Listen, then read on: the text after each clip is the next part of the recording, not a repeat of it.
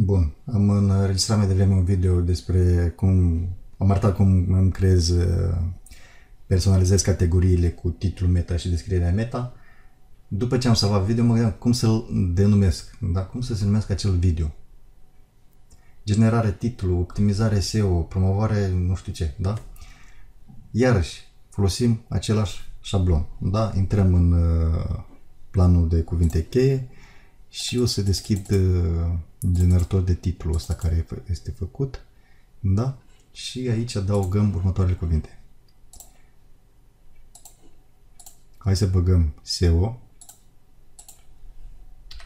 SEO, titlul meta și ce să mai zic? Optimizare.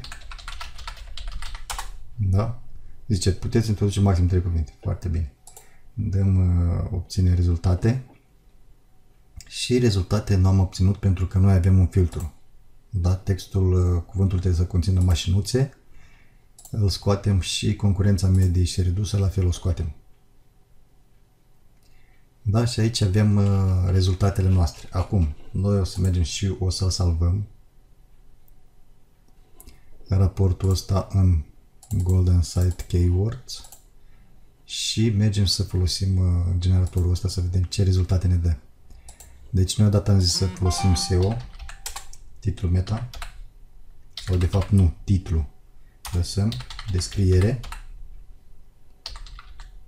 Așa, și dăm un regen, un refresh.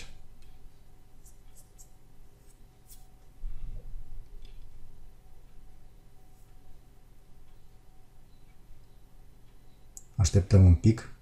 Gata, s-a generat, da? Deci noi avem aici așa. Optimizare SEO, mediu, mare, optimizare SEO, preț. Aici putem să facem un filtru să scoatem deodată asta cu mare și mai putem face un filtru să mai scoatem cu mediu să lăsăm decât redus pentru că SEO este cât de cât foarte concurent și SEO on page. Ăsta este pentru mine. Optimizare SEO on page, one page, copy este perfect unde am să luat eu acel video.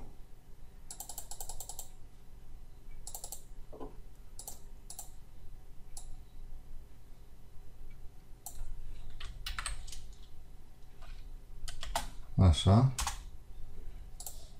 Firmă optimizare, optimizare SEO Google, optimizare SEO magazin online, dar totuși 10 e cam prea mic. Hai să lăsăm și mediu totuși totuși să lăsăm și mediu. Uh, aici ar fi zona între 100 și 480 în care ar trebui să ne orientăm noi. Servicii optimizare SEO, mm. promovare SEO, firmă SEO, video SEO, optimizare SEO site. Perfect. Dar n-am găsit nimic cu titlul.